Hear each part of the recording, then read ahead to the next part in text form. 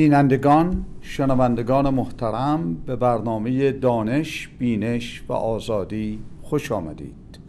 بنده حبیب ریاضتی هستم و هدف از این برنامه ها همانطور که مستحضرید دادن دانش بیشتر بر اساس واقعیت های تاریخی و آن حقایقی که موجود است تا اینکه شما بتوانید با بصیرت خودتون بینش حاصل بفرمایید و برای خودتون و اجتماع یک فرد سالم و مفیدی محسوب بشوید. بنده در این جلسه و یک جلسه دیگری که در دو هفته دیگر ادامش رو خواهم گرفت در مورد مفهوم جهاد مفاهیم دیگری که در جامعه امروز استفاده میشه توسط افراتیون فاندمنتالیست ها می‌خواهم یک مقدار بذر حکمت رو بپاشم. به همین منظور چون بیشتر توجه به سمت افراتیون اسلامی جلب شده است بنده می‌خواهم که موضوع های مختلفی که در کتاب و یا اصول اساسی اسلام استوار شده با شما در میان بذارم. قبل از آنکه این مطلب رو ادامه بدم می‌خواهم تذکری بدهم و آن این است که این برنامه ابدا جنبه مذهبی یا سیاسی نداشته و ندارد و این برنامه ها توسط هیچ گونه حزب سیاسی و یا گروه مذهبی چه اسلامی و چه غیره ابدا اسپانسر نمی شود. هدف من فقط آن است که حقایق رو به شما عرضه بکنم. در انتهای برنامه شما می توانید سوالات خودتون رو مطرح بفرمایید ولی بنده متذکر می شوم که لطفا سوال رو مطرح بفرمایید. به عوض آن که تفسیر و یا تعویل و یا حتی تعریف بکنید. چون هدف ما ایجاد بررسی حقایق است.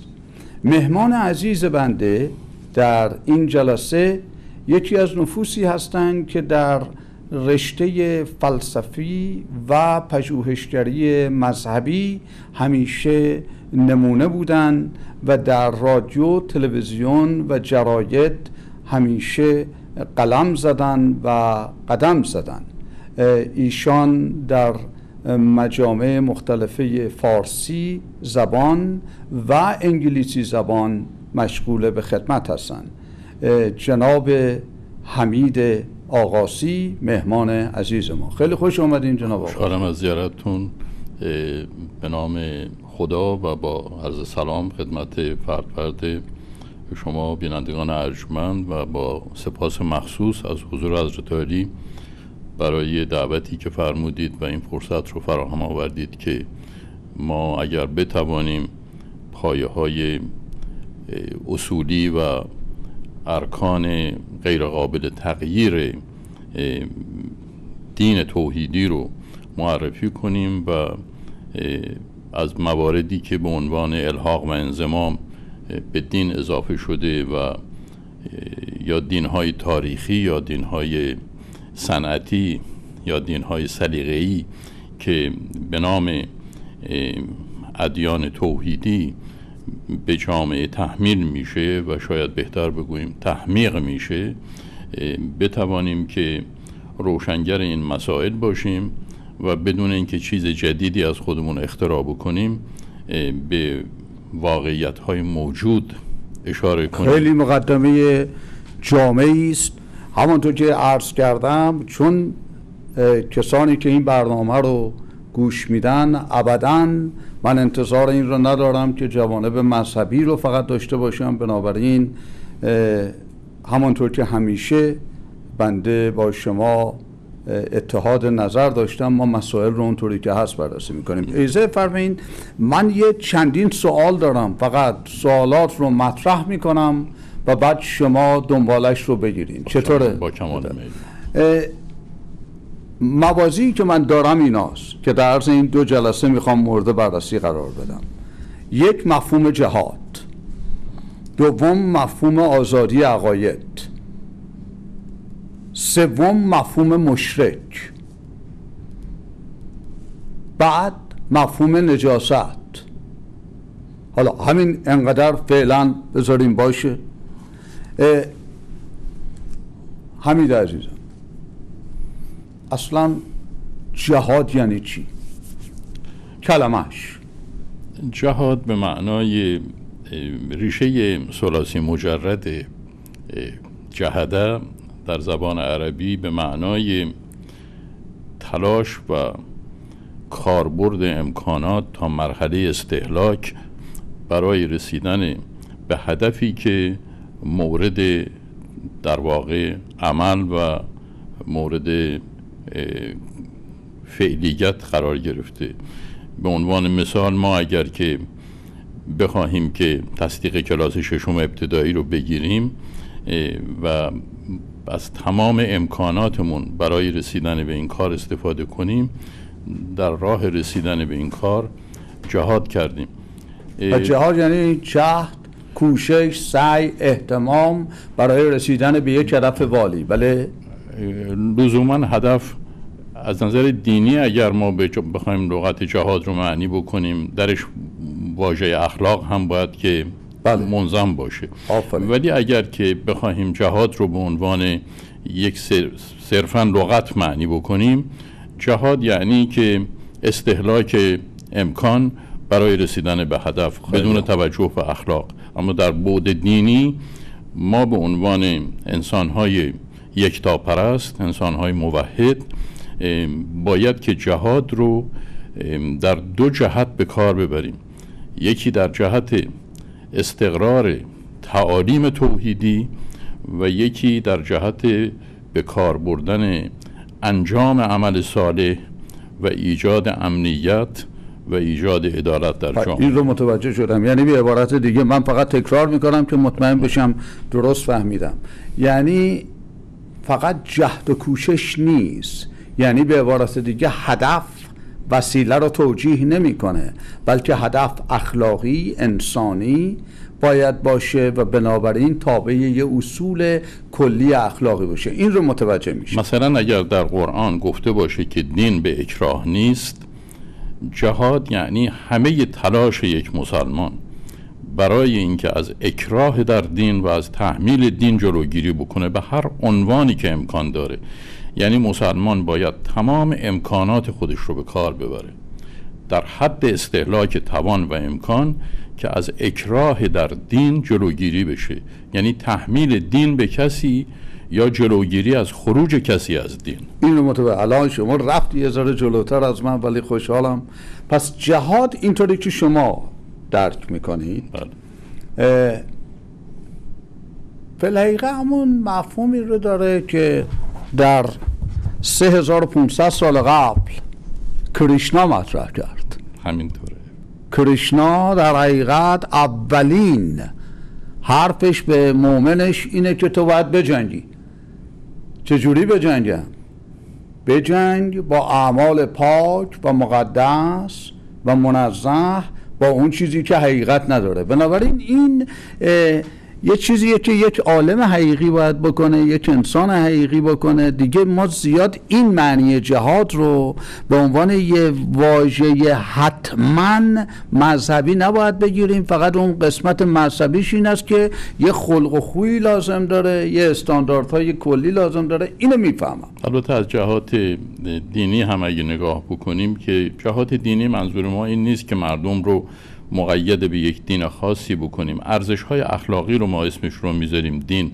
اگر اونطوری به دین نگاه بکنیم یکی از بزرگان دین که پیامبر اسلام باشه او می‌گوید که جهاد درجات مختلف داره. جهاد اسخر داریم جهاد اکبر داریم و بزرگترین و خطرناکترین و پرمشقتترین جهادها جهاد اکبر است که اون جهاد با نفس انسانه. من اینو قبول دارم ولی می‌تونم یه خواهش مخصی دارین در قرآن که این نشون بده.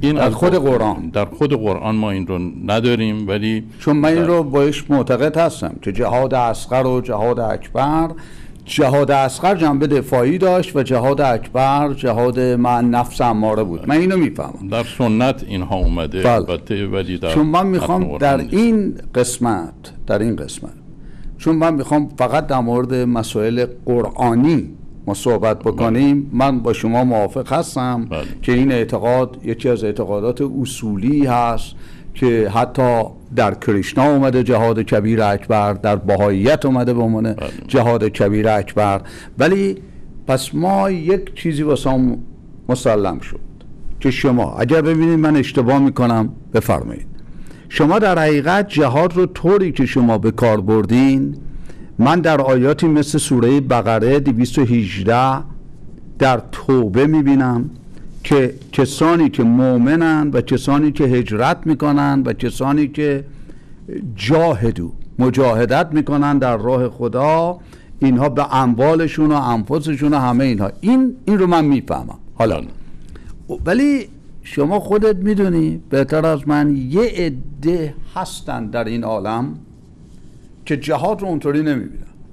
و ما می‌خوایم این رو روشن کنیم. یعنی آیا در قرآن اینطوری که شما میفهم می‌فهمید. و نظر شما هم محترم است. چون ما نمی‌خوایم نظریاتمون رو بر کسی تحمیل کنیم. ما مشورت می‌کنیم. آیا همونطور که شما فرمودین لا اکراه فی لکم دینکم. دین شما دین مال شما مال خودم. بله. مال خودم که در بقره اومده. بله. بنابراین این تا حدودی در کافرون اومده. بله. این تا حدودی یعنی ما بخوایم این اصول کلی حالا بگیریم. یعنی اینکه حمید می‌تونه مسلمان باشه. من می‌تونم اصلا هیچ دینی نداشته باشم یه اعتقادات خودم رو داشته باشم و بنابراین جبری برش نیست. بله؟ همینطوره. اینطور. حالا پس حالا سوال اینه. سوال اینه. بله. در بعضی از این آیات که مردم می‌فهمن چرا حقوق و مزایای یک کسی که به دیانت به دیانت خاصی مثل اسلام در اینجا فقط بررسی کنیم. معتقد نی. روی چه حسابیه؟ حمید جان شما به من بگو. حقوق و مزایای انسانیش سلب میشه وقتی که خود پیغمبر همونطوری که شما فرمودین میگه هیچ اکراهی در دین نیست. علاوه بر اینکه ما در سوره کافرون اگر کسی بدعت کرد اگر کسی مشرک بود اگر کسی ملحد شد اگر کسی از دین خارج شد مرتد شد یعنی ما به ابداع به شرک به الهاد و به ارتداد این چهار جرمی که در قانون دین مفتری به قرآن من اسمش رو می‌ذارم دین افترا به اسلام مجازات اینها اعدامه در سوره کافرون که سوره 109 قرآن هست می‌گوید اگر کسی مرتکب این کارها شد و آمد به شما گفت من یک خدایی ساختم یک معبودی ساختم که تو بیا عابد این معبود من بشو تو بهش بگو که من به دین تو در نمیام. خوب توجه کنید قرآن به شرک به بدعت به کفر به الهاد به ارتداد اسم دین می‌گذاره میگه دین خودت لکم دینکم. این دینی که اختراع کردی ولی اسمش دینه. مال تو دین من هم مال خودم. در سوره بقره که جنابالی هم اتفاقا هایلایت کردید خودتون کار من آسون کردید در آیه 62 از سوره بقره سوره دوم ان الذین آمنو کسانی که ایمان دارند. و الذین هادو و کسانی که یهودی هستند و نصارا و کسانی که مسیحی هستند و سابعین حالا یک عده میگن سابعین یحیویون بودن یک عده میگن حنفی بودن یک عده میگن ابراهیمی بودند و قول وسیع و عظیم این است که و غیره معنی میده یعنی بله. چه شما مسلمان محمدی باشید چه یهودی باشید چه نصارا باشید و چه جزء خارج از اینها باشید. این آیا جزء خارج اینها؟ شما اینطوری که من ملتفت شدم. حالا آیا مثلا کسایی که بعد از محمد رسول الله به چیزی معتقد میشم مثلا به طور اخص در ایران امروز ما ما می‌بینیم ظلم هایی که به پیروان آین بهایی میشه فقط به خاطر اینکه یه عده از علمای لاانشور من اسمش رو علمای حقیقی نمی‌گذارم. معتقد هستند که محمد آخرین پیغمبر کتابش آخرینه و بنابراین حقوق و مزایای اینها. آیا شما لا اکراه فدین رو اینطوری که توصیف فرمودین به دین می‌گیرین که الان هم دینی هم که بعد از رسول الله به هر اسمی و عنوانی اومده پیروان اون نبایستی حقوق و مزایای انسانیشون را دست بدن. ما هیچ حکمی در قرآن نداریم که افرادی رو که مثل ما فکر نمی کنند و مثل ما نمی اندیشند اینها رو تبعیض و تفاوت بین خودمون و اینها قائل باشیم و این در همین کتاب همینجا آمده. می‌گوید برای کسانی که اهل ایمان هستند حالا اهل ایمان رو تعبیر می‌کنند به مسلمان های محمدی و کسانی که یهودی هستند و نصارا هستند و سابعین هستند من آمن بالله. هر کسی که به خدای یکتا ایمان داشته باشه و یوم الاخر و به روز قیامت این دو شرط دوم شرط سوم و عمل صالحا و عمل صالح انجام بده فلهم اجرهم عند ربهم. اجر و پاداش اینها از حدود و سقور پیامبران و انسانها خارجه. اینها نزد, نزد ربشون به صورت مستقیم اجر دارن و لا خوف علیهم و نبایستی که بر اینها خوفی باشه. از آنچه که در آینده بر اینها وارد میشه. و لا هم یحزنون و حزنی از گذشته داشته باشن. یعنی اینها نباید پشیمانی از گذشته داشته باشن. که چرا مثلا من در گذشته فرض بفرمایید که دینی غیر از این سه دین اصلی داشتم و در آینده هم لازم نیست دینشون را عوض بکنن. حالا من یه سوال من اینو متوجه شدم. من انقدر سوال دارم من. شما الحمدلله چون اهل علم و معرفتین بنده پژوهشگر بی مقدارم. اینه که من رو ببخشید. استاد بنده هستید. ببینین همینجا اینا خوبه همش آیا اصلا دو تا دین وجود داره؟ ما در تمام قرآن از آغاز تا پایان یکی دو واژه هست که اینها رو در حالت جمع نمی بینیم یکی از اونها واژه دین هست که ما در قرآن ادیان نداریم.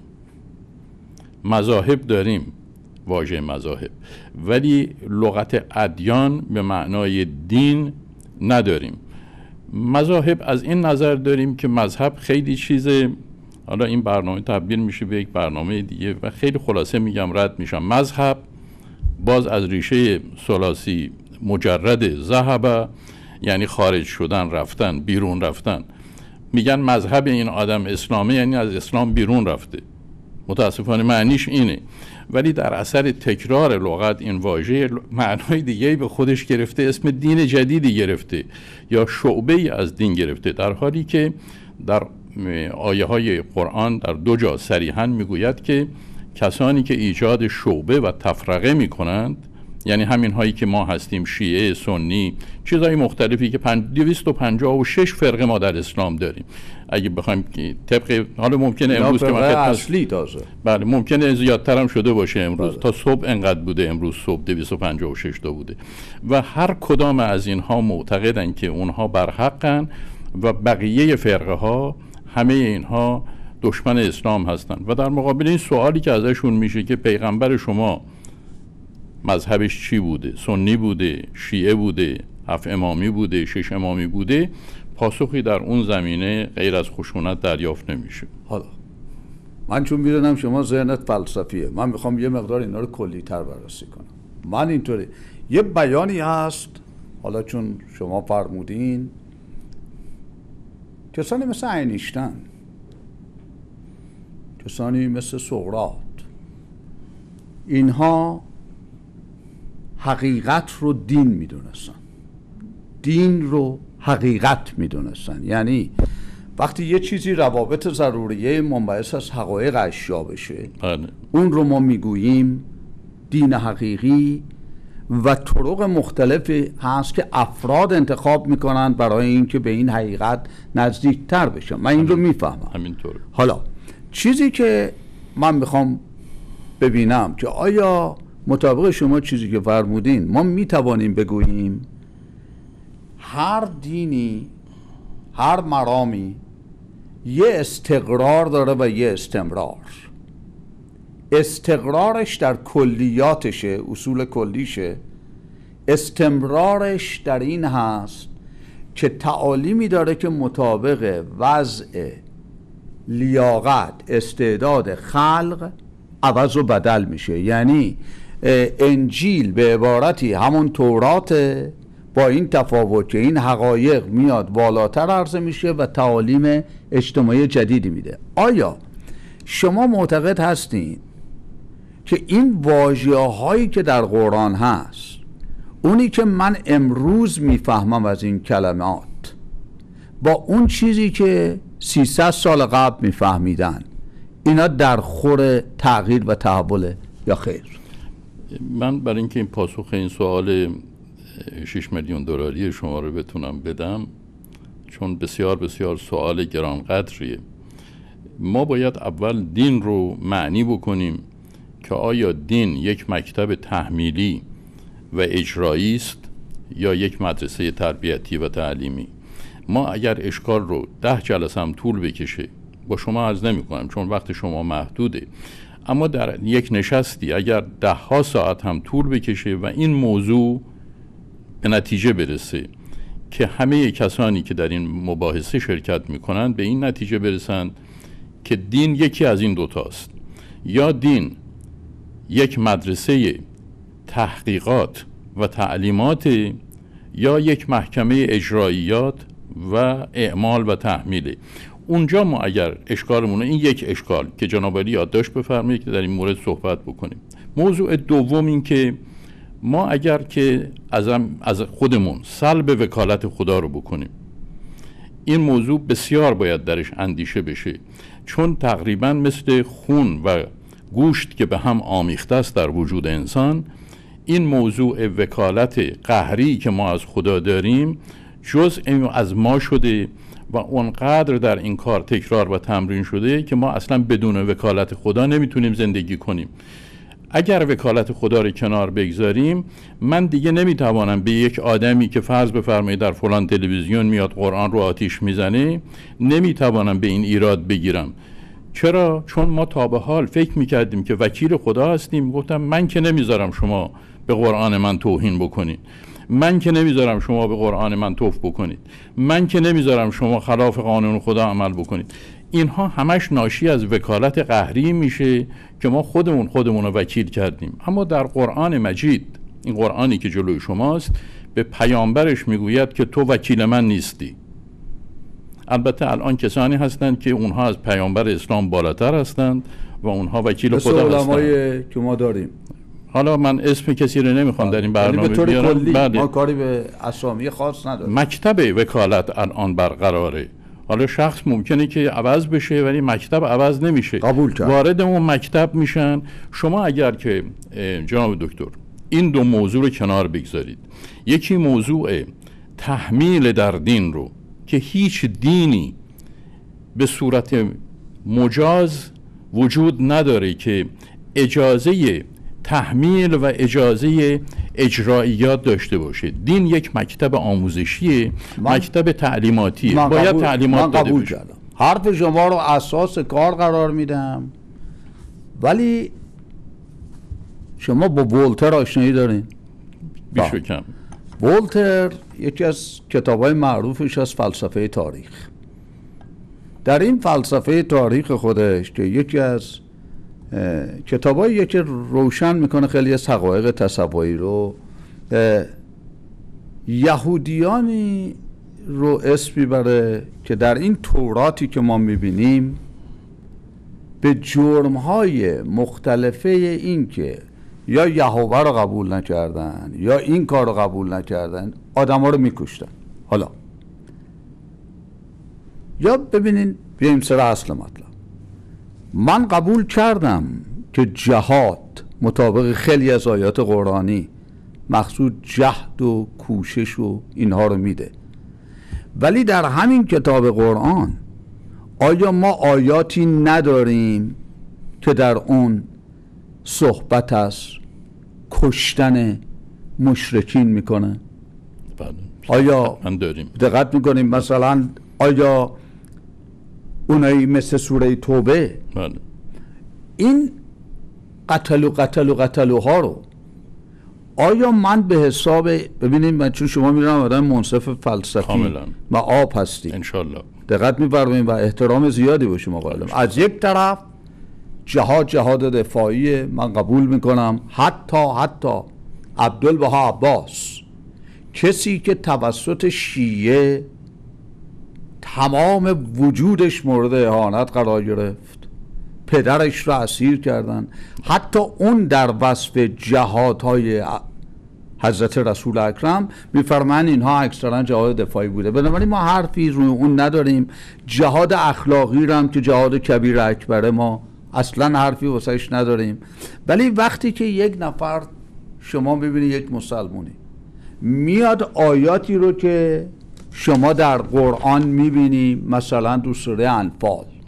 شده در سوره توبه اینا رو که قاتل و قاتل و قاتل می‌کنه اینا رو ما آیا به این بگیریم که اینها دارن سوء استفاده می‌کنن یا باید قبول بکنیم که بعضی از آیات هست که نظر به زمان موجوده و الان ما هر چیزی رو که حقوق و مزایای انسانی رو از بین می‌بره جلوشو بگیریم و نکنیم.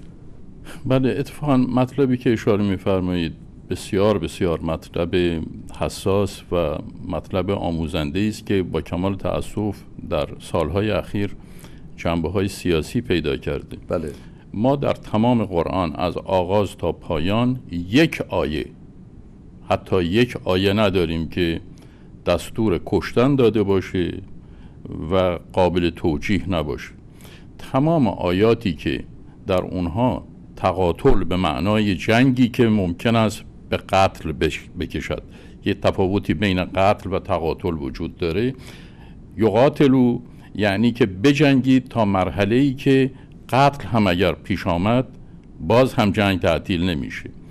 اگر ما قبول بکنیم که در قرآن جنگ تهاجمی گفته نشده اگر در این قرآن یک آیه وجود داشته باشه آقای ریاضتی که حکم به تهاجم داده باشه همه این قرآن از درجه اعتبار ساقطه و من به عنوان یک مسلمان از اسلام خارج میشم. اگر یک آیه در این قرآن وجود داشته باشه که ابتدا به ساکن به کسی اجازه داده باشه که به دیگری تهاجم بکنه مال کسی رو بگیره حق کسی رو بگیره شرافت و حرمت کسی رو بگیره چه برسه به اینکه جان کسی رو ما بگیره؟ قبول و ببینید شما می‌دونم که انسان اجازه بفرمایید. اما در مرحله دفاع شما تمام آیاتی رو که می‌خوانید می‌گوید وقتی که در میدان حرب در جنگ روبرو میشید با کسی که دشمن شماست. حالا این دشمن اتفاقا کافر هم هست. این دشمن اتفاقا مشرک هم هست. این دشمن اتفاقا حالا من دین دیگری هم داره. صحبت کنم. عملی. سوره توبه 29 بله. قاتلوا الذين لا يؤمنون بالله و بالیوم الاخر. بله. خب به مضمونش به زبان فارسی اینه. بکشید آنانی رو که مؤمن نیستن به خدا بر... من می‌خوام آیه ببینم چند هست؟ این آیه 29 بله. من اینا رو از ذهن نوشتم منو بعد ببخشید یه ذره پس و پیش نه. نه خوب نوشت یا مثلا یا ایها الذین آمنو ان المشرکون نجسون ای مؤمنین مشرکین نجستن نزدیکشون اینا نباید بیان تو مسجد من نمی‌خوام اینجا ایراد بگیرم ها ببینید من می‌خوام حقایق که چجوری می‌تونه مردم برداشتاشون از این آیات می‌تونه به صورت منفی بره؟ من می‌خوام. من می‌خوام ببینم. آیا ما می‌تونیم تمام این آیه ها رو مثلا بقره 244 بله. قاتل فی سبیل الله بله. آیا در قرن 21 ما می‌تونیم در راه حق و حقیقت قتل بکنیم در راه خدا؟ سوال من اینه. تمام این آیاتی رو که جناب اگر فرصت باشه که یکی یک این آیات رو آیه های قبل و بعدش رو مطالعه بکنیم که از نظر موضوعی معلوم بشه که این آیه در ارتباط با چه موضوعی گفته بله. بشه هیچ آیه شما در قرآن نمی بینید که جنبه دفاعی نداشته باشه حالا صحبت این است که آیا این دفاع بیش از حد کمتر از حد خوبه بده به درد این زمان می‌خوره نمی‌خوره اونها رو من حاضرم که با شما وارد بحث من, بشم. من می‌خوام اصلا اینی که فرمودین اما نکته این که- ظریفیه. شما در این در حقیقت به بنده میفرمایین اگه من درست بفهمم که این آیات قرآنی وقتی دارین می‌خونین شما باید کانتکس مو- موضعش رو دقیقا بدونید. همینطوره. حالا اینجا یه اشکال اساسی پیدا چون شما ذهن دوباره فلسفی ما اینو عرض می‌کنم. ببینین ما می‌تونیم بگیم حتی در آین باهایی هم هست در آین یهودی هم هست که شما این کتاب رو می‌خونی. هر چیزی که می‌بینی میگی این علت این که اینو نوشتیم اینه. علت این که اونو نوشتیم هم اونه. پس این میشه یه مجموعه ای از این که موقعیت چی بوده وضعیت چی بوده و این بابا چی گفته. من می‌خوام اینو سوال بکنم و این یکی از سوالای مهمی بود که از من کردم بینندگانی که در, در مورد این موضوع همینطوره. که چگونه می‌تونی شما این آیات رو جنبه جهانی بهش بدی اون وقت؟ اگر شما قاتلو رو این میگه فقط قاتلو فی سبیل الله. یا میگه مثلا بکشیشون چون فتنه می‌کنن. بله حالا حالا مثلا فتنه رو میشه کانتک و ولی همون آیه میگه که فتنه بدتر از جنگه. حالا. یعنی یه کاری می‌کنن که جنگ پلوش خیلی کار خوبی. خب حالا من سوال من اینه. حمید جان آیا اصلا من مشرک من نجس من کافر من اصلا موجودیت ندارم در وجود شما؟ من می‌خوام ببینم آیا در عصر حاضر ما بایستی بریم و بکشیم؟ ما در عصر حاضر هر کسی که بهمون حمله می‌کنه و خانواده ما رو اموال ما رو انفاس ما رو نفوس ما رو مورد تهاجم و خطر قرار میده موظف هستیم که از موجودیت خودمون و از شرافت خودمون دفاع بکنیم. حالا ممکنه یک کسی میزان دفاع رو زیادی بدونه کمتر بدونه. اون یک بحث است که ما وارد می‌کنیم به متمدن ترین کشورهای امروز که ما میگیم اگر طبق قانون قرآن عمل می‌کردند هیچ وقت نمی‌توانستند که روی مردم ژاپن گردی بپاشن که دویست هزار نفر رو در آن واحد خاکستر بکنه. حالا من نمی‌خوام بحث رو به جاهای دیگه بکشم ولی من خودم بیشتر از همه با این کارهایی که انجام میشه هم احساس نفرت می‌کنم هم احساس شرم و هم احساس خشم. اما ما اگر که امروز جلوی تلویزیون نشون میدیم که یک نفر سبعانه مثل یک حیوان سر یک انسانی رو از تن جدا می‌کنه باید ببینیم که این چیزها رو توی پرسپکتیو و آگراندسمان قرار دادن که با عاطفه مردم بازی بکنن بیشتر خطرناکه یا اینکه یک بمبی با تمدن و با پاپیون و با کتشلوار خیلی شیک از داخل هواپیما بیاندازن رو سر مردم و دیویس هزار نفر رو یک مرتبه خاکستر بکنن یا هر دوش. یا اصلا یا به هر طور. کلی به قول شما. جان انسان رو نباید گرفت. آف من به- رسیدیم اون اصل قضیه چون یعنی من قبول دارم. ببینیم بنده با شما در یه چیزی مشترکم. این یک کتابیه نوشته شده. چه موافقش باشی چه مخالفش باشی باید حقایقش رو بررسی کنی. نه احتیاجی به دفاع داره. چون اگر حقیقت باشه میمونه. اگر هم حقیقت نباشه میره. ازا جا الحق زهق الباطل. ما نبایستی نگران باطل باشیم. باطل میره چون بقایی نداره. ما باید حق رو بدم. من فقط تنها چیزی که می‌خواستم مطمئن بشم با شما در میون بذارم. آیا شما موافق هستین با این نظریه که این افرادی که امروز دارن به اسم اسلام دارن حکومت می‌کنن یا به اسم اسلام دارن آدم می‌کشن حقوق و مزایا رو می‌گیرن بعضی از این آیات قرآنی رو به عنوان یک وسیله به عنوان یه وپن استفاده می‌کنن من نمیگم می‌فهمن یا نه ولی این میشه هدفشون یه چیز دیگه است آلتشون این آیه است و چون اینها موزه رو نمی‌فهمن کانتکس رو نمی‌فهمن ولی سوء استفاده ها میشه. آیا شما حداقل با این موافق هستید من با این موافق هستم که اینها اکثرشون با اسلام بازی می‌کنند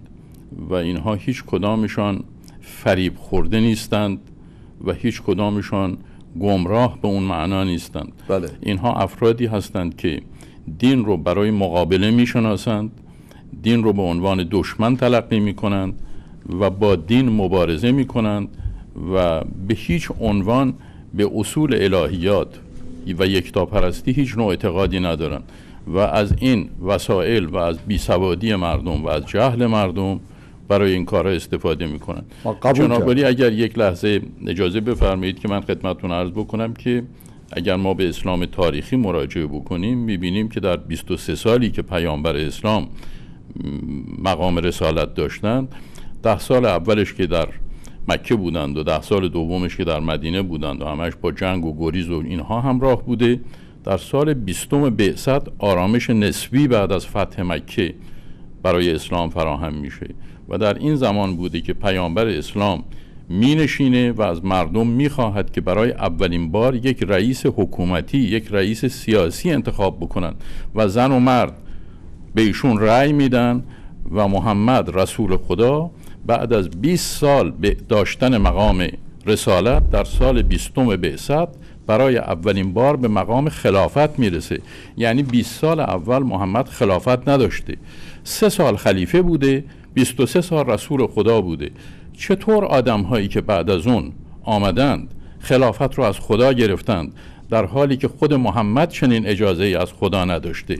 اگر خلافت بخشی از وکالت باشه ما پنج آیه سریح در قرآن داریم که به پیامبر امر می‌کنه که به مردم بگو که تو وکیل من نیستی. شما چطور قبول می‌کنید؟ کسی که وکیل خدا نیست خلیفه خداست. من فکر می‌کنم تمام افرادی که الان گوش میدن به زبون بی زبونی شما دقیقا گفتیم و موافق هستم که این ولایت فقیهی که این اساس رو اینطوری که گذاشتن بی اساسه حالا من سوال من اینه. من دارم اینو میگم.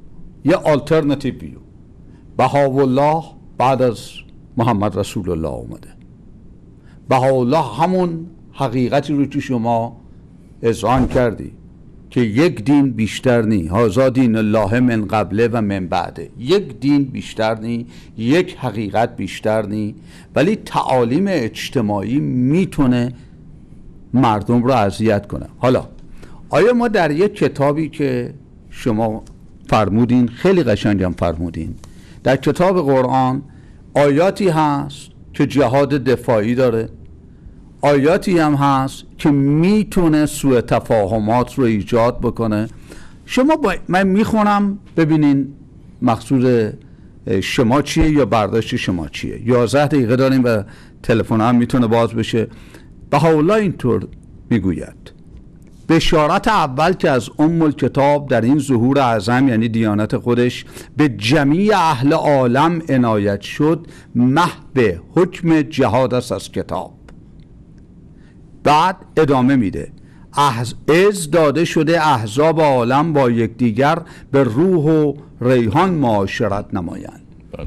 آیا شما به عنوان یک فرد منصف. ما اصلا کاری نداریم که کسی این را قبول بکنه یا اون را قبول بکنه.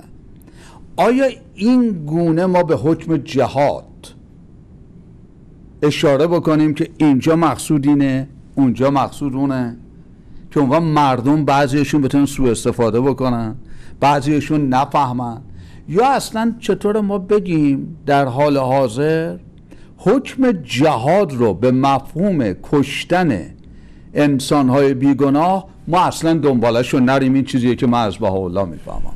من ضمن اینکه به رعفت کلام حضرت بهاءالله احترام می‌گذارم ولی این رو هم خدمت شما عرض می‌کنم که باز اگر اسلام رو یک مکتب تربیتی و تعلیمی تلقی بکنیم و کار اجرایی رو به قانون واگذار بکنیم اسلام و قرآن دست افراد رو باز گذاشته که از طریق بیعت از طریق توکیل از طریق شورا از طریق تقنین جامعه رو با انضباط رعایت بکنن قبول کردم ولی خب یه اشکال اساسی همین جون پیدا شده که چون در خود همین قرآن الان می‌دونم خطا داره بله. روزه ولی در همین خود قرآن اختلاف نظرهایی که ایجاد میشه چون شما یکی از اون نفوسی هستین که من مخصوصا هم دقت بکنین اسمی از ائمه نیاوردم امام نیاوردم همه چیز رو می‌خوام به قرآن منوط کنم.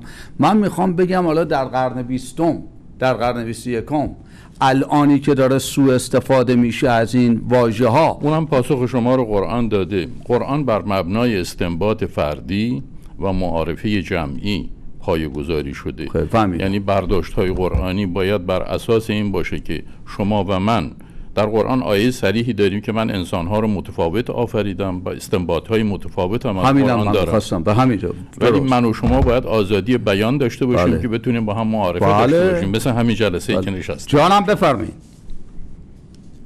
هلو قطع شدم.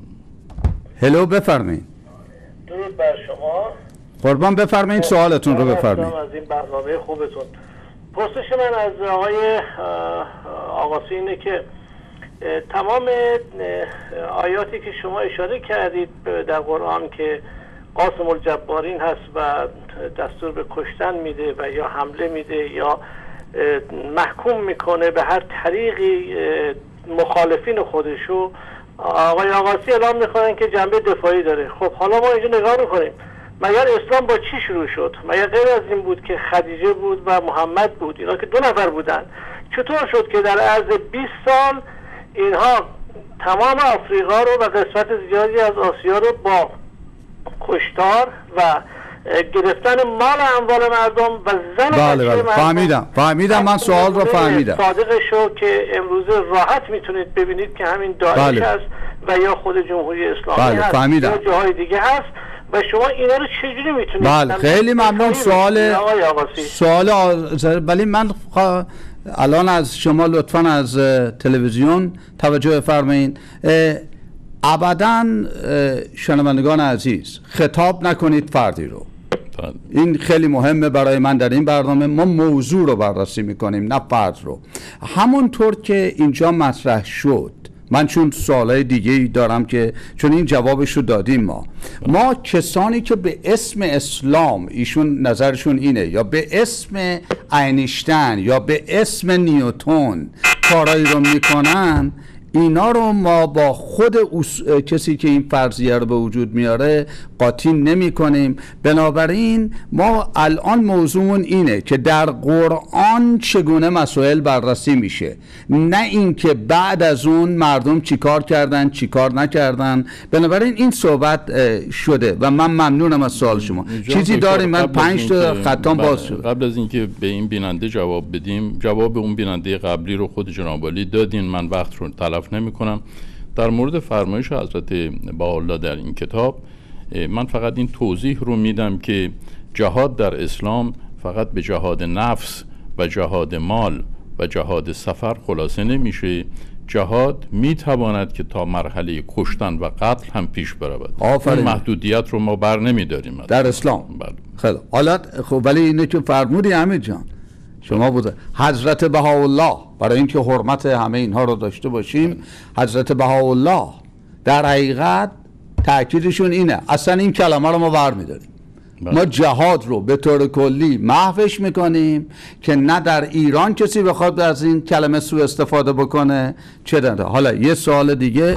بفرمایید فقط 6 دقیقه دارم 5 تا خطم بازه. سریع بفرمایید.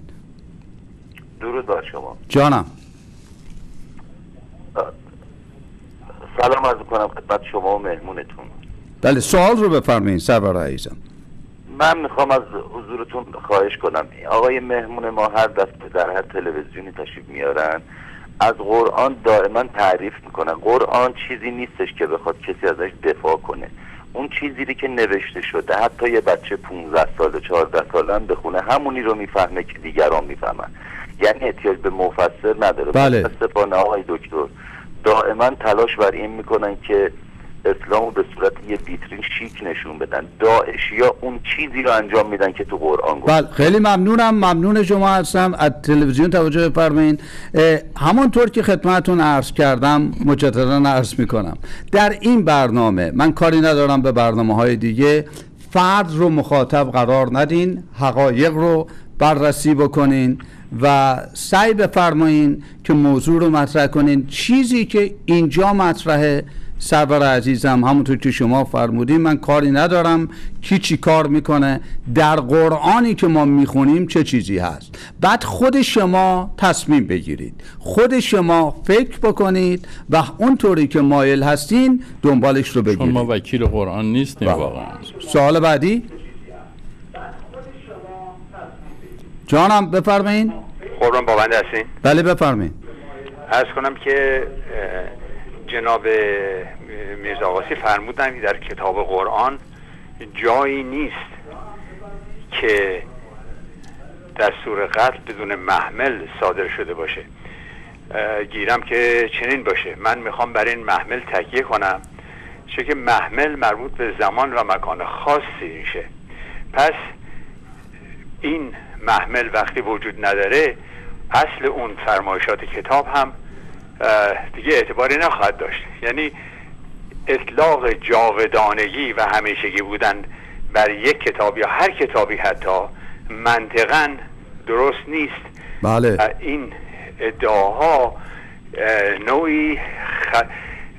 بله خیلی نکته دقیقی فرمودین سرور عزیزم. یعنی به عبارت دیگه شما می‌خواهیم بفرمایید اگه ما هر چیزی رو که در قرآن اومده یا در هر کتابی اومده بگیم بدین دلیل نازل شده یا به اون دلیل نازل شده استقرار و استمرارش رو از دست خواهد داد. دقیقا. و بله. باید یک وقت این منتهی بشه به یک سیستم تازه تری گرچه همونطور که فرمودین دین یکیست و معخذ یه جاست ولی بسیار مو- اه، حالات و لزومیات زمان و مکان را بگیره. برای اینکه دین بله. مردم برای دین نیستن.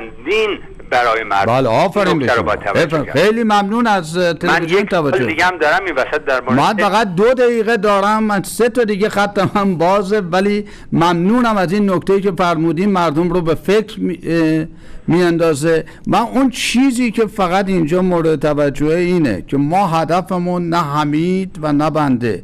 این نیست که این کتاب رو ما بخوایم پرستشش رو بیشتر بکنیم یا بخوایم اجرش رو بیاریم پایین ما می‌خوایم. فقط توجه مردم. رو به این جلب کنیم که شما باید خودتون بخونید مسائل رو بررسی کنید بفرمایید آقای ریاضتی می‌خواستم. به اون دو فقط عرض بکنم به- که ما در می‌خواین اینم بگیریم و شما بعد جواب بده دو دقیقه. بفرمایید جان جانم بفرمایید من می‌خواستم رو air باش.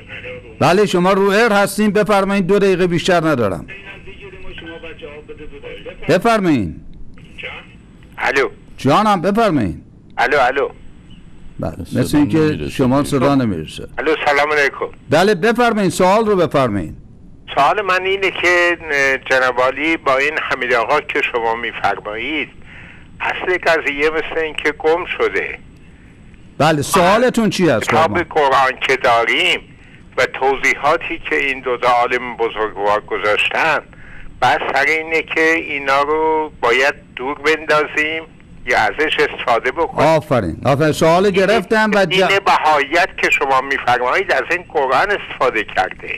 بله. حالا ببینین اه، سرور عزیزم من در اینجا نمی‌خواهم دیانت بهایی و نه دیانت اسلام رو ترویج کنم بلکه نظریات مختلفه رو بررسی می‌کنم. فقط من پیشنهادم به شما سرور عزیزم آن است که شما اون چیزی رو که میشنوین با عقل درایت و بصیرت خودتان بسنجین مطالعه کنین تصمیم خودتون رو بگیرین. ممنونم که شما نظریه قاطع خودتون رو ابراز فرمودین همون تلویزیون. است که بنده از جنابالی می‌خوام خواهش بکنم. من چطوری فکر کردم مهم نیست. بله. جنابالی که در تو تلویزیون هستید و, و یه دو بله، بله. بینن. یا فهمیدم، من فهمیدم چی یا. شنوندگان مسلمان شما باید این قضاوت هاتون رو چیز باشید. بله من فقط هدفم این است که قضاوت های کلی تحمیلی نباشه فقط ابراز کنه ممنونم از شما. سروران عزیز اگرچه تمام خطوط ما داره میدرخشه. من 18 ثانیه بیشتر وقت ندارم. در اینجا خواستم تشکر بکنم که شما اینقدر جلب توجه کرده. من هدفم هم همین بود که سوال و جواب رو بیشتر بکنم و انشالله در جلسات بعدی به این قضایا پی رو پیش ببریم. در دفعه بعد من به حقوق و مزایای انسانی و تعالیم اجتماعی قرآن می‌خوام با جناب حمید آقاسی مشورت بکنم و بنابراین ببینم که چگونه می‌توان قرآن رو امروز مورد استفاده قرار داد و یا اینکه آیا اگر ما یه دین جدیدی رو آین جدیدی رو مرام جدیدی رو قبول بکنیم آیا این توهین به قرآن هست؟ تا دفعه آینده شما رو به خدا می سپارم و ممنونم از جناب آقاسی من فقط اگر که دو ثانیه فرصت باشه می‌خوام عرض بکنم که ما از قرآن یزید رو داریم امام حسین رو هم داریم. اینی که قرآن چجوری حکم می‌کنه و چجوری معنا میشه استنباط های فردی باید در آزادی بیان با معارفه اجتماعی توام باشه. و عشق و محبت. دیگه. حتما هفته های آینده که در خدمتون هستیم بیشتر راجع به این موضوع صحبت می‌کنیم. فدای شما خیلی ممنونم. تا هفته آینده شما رو به خدا میسپارم